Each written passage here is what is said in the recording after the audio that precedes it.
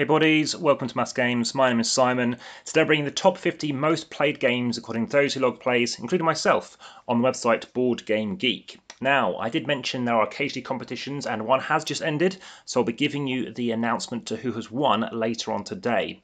And that'll be in this video. If you are the winner, please let me know in the comments and I'll be in touch.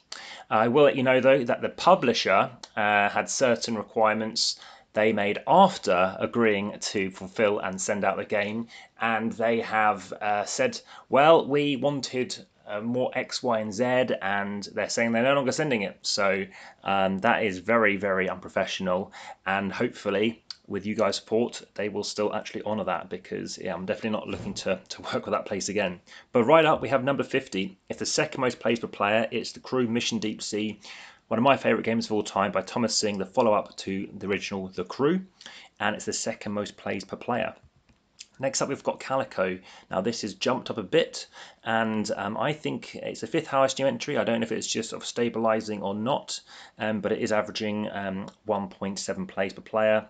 It has jumped up two positions in at 48. Now, unfortunately, I have tried to sort out this flashing effect, but it is still going on, and um, it's just going on a few of these uh, thumbnail pictures, but apologies for that. It's jump one position, 160 players. It is on Board Game Arena, like the crew, so that might explain why it's doing so well. The Obsession, or sorry, Obsession, I look forward to playing this on Thursday. That's in one week's time from time recording and there's a new uh, release of it to come out. So that is why it's the fourth highest new entry.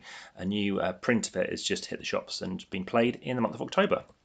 Next up, Horrified. So this is by Ravensburger, third highest new entry. It's a game that I've kind of got on a, a kind of order, uh, but I have got a lot of things in the pipeline. Still daily videos for the past three or so years, I think five years now. 154 new, um, uh, well, new, uh, sorry, change in rank since last month as well. Next up, we've got Parks, also on Board Game Arena. You can check out my video on how to set up, play, and review, and the solo playthrough and stuff. Second least place per player, though, dropping three positions. Next up, we have got a Gloomhaven Jaws of the Lion, still stuck on the sixth mission in the sense that we just haven't had time to get around to playing this one yet. It's the second biggest faller, dropping 10 positions. Then Arkham Horror, not a big fan of this one. It is obviously very Cthulhu like though. No change at all at 43. If you want to see other co-op games, you can find that on the channel too. Dropping one position, this board game arena game as well is uh, in at 42 from Bristol. Next up, we do have the other crew. It's the third most plays per player. Again, it's on Board Game Arena, averaging 101 minutes, point one per player. Fantasy Realms, well, I do have my copy now. Got the deluxe edition with sleeves and promos. And check out Marvel Remix, which is a re-implementation of this. You can find out videos for that too on the channel and in my Marvel playlist. Next up, Ganz Schön Clever. Don't play this, play Noch Mal or Encore if you have the Stronghold Games edition. It's my favourite roll and write game, one of my top three games of all time, and all my top three games all have an exclamation mark at the end. This is in at 39. Next up, we have got Terraforming Mars Ares Expedition. Now, this has dropped three positions, and just coming back to Ganz Schön Clever, if you want to see my video, which I think is better, for the third one, Clever Cubed, I think it's a much better game. Also, check that on the channel. Just type in Amass Games and then Clever Cubed. So this is also on the channel. You can see my play, solo playthrough, my very interesting solo playthrough. Um, yep, I've also got how to set up, play and review multiplayer as well. This again is Terraforming Mars and at 38. Then we have Seven Wonders Architects. Nearly played this yesterday. In the end, I play the regular one again, the second edition. So this is dropping seven positions on Board Game Arena. And then King of Tokyo, also on Board Game Arena by Yellow. It's dropped four positions. Then Gloomhaven. Now, this is the most time spent playing. It's dropped four positions and still number one of all time with Board Game Geek presently. Now, Twilight Inscription, a very interesting position to have next to it. It's an epic roll and write experience, which I've yet to play. I could have played it actually over at S, I believe, and it's the second highest new entry. Next up, we have Root, and this isn't on Board Game Arena. You can get the app. You can watch my video, including the fantastic expansion on the channel too. Again, just search the word Amass Games and Root in Google, whatever you use, and you'll find it. Third most, or third biggest fallen players, biggest faller as well in terms of rank. Then Scythe is dropping seven positions as a digital version out.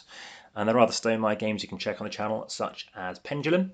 So check out that too, as well as my solo playthrough and I had a set up a review for the multiplayer game for My Little Scythe which I prefer. Next up, we have Brass Birmingham, third biggest faller. It's the least plays per player at 31. And then Viticulture in at 30, of course, another Stone Stonemaier game there. Now, Seven Wonders, I have the second edition now. I've just sleeved it with Mayday sleeves. It is in at 29, dropping two positions. Then we have Cartographers, no change at 28. There are digital apps and stuff for it. I do have videos for that too. You can find that on the channel, again, along with Seven Wonders. And then Art by the Miko. Yeah, he made tons of games ever since uh, North Sea, that is Explorers of the North Sea in 2014, I believe. This game is also out by Pegasus Spiele, I believe, and you can find that over in Essen. I didn't get a chance to get a copy as it did sell out. Looks very interesting, it's the highest new entry. And then Point Salad at 26 just came out on Board Game Arena yesterday. This is in at 26. It's dropped six positions though. I think it's going to jump up next month. So that's the top of that list. The person who's won, they are in the USA. So I'll give you more details on who that is a bit later on. But let's crack on with the rest of this list. If you are enjoying it, please let me know in the comments. That's always best on YouTube. Also via the description, again, there are occasionally competitions. There is Linktree. Keep checking back there. And via Instagram, there is actually that, and Facebook and TikTok now. So please head over there, 2,600 posts over on Instagram presently. So dropping six positions, or six ranks positions is uh, 25 Space Base, also on Board Game Arena. John D. Clair, and that is AEG. And then 24, looking forward to playing this, awesome board game arena now.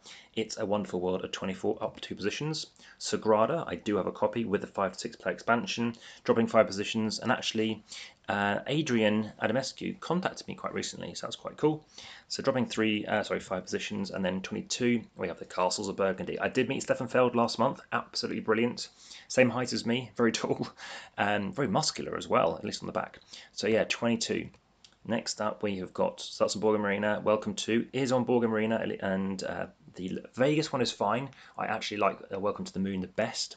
Up two positions. I'm glad I stuck with trying out Welcome to the Moon. Down three positions, I did meet Bruno Cathala in 2018 at the Spielers Fair. Third least time spent playing. Then Scout, I do have a copy of Scout. Third most highest riser, least time spent playing. Then we have Just One. It has dropped two positions, also on Board Game Arena now second least time spent playing, so I think that's going to jump as well. And then Patchwork, on Board Game Arena. I did love Stack and Stuff a lot over in Germany. It has dropped three positions. Next up, Carcassonne, on Board Game Arena, dropping three positions at 16.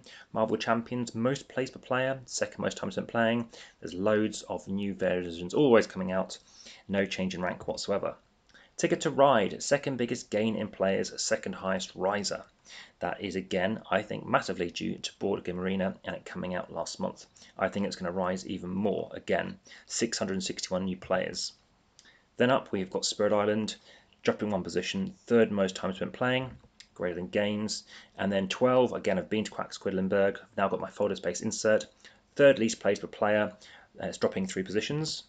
Then we've got Seven Wonders Duel dropping one position, also on Board Arena, as is Splendor dropping two positions.